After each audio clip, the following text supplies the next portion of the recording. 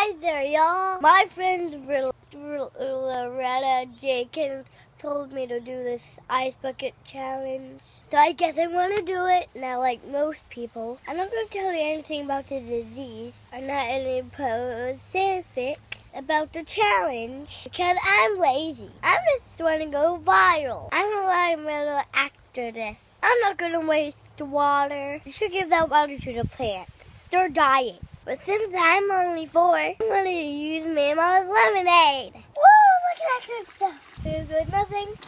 Ah, my eyes, they're blind. You see what happens when you try to do good? I'm ready to take my toesies off.